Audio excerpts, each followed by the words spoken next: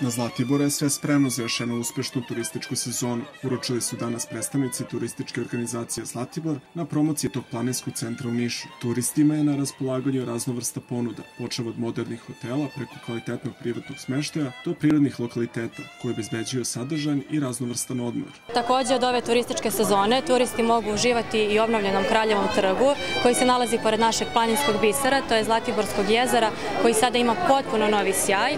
Tu je i najduža gondola gondola na svetu, to je zapravo panoramska Gold gondola, čija je dužina 9 km i spaja centar Zlatibora sa našim najvišim vrhom Tornikom.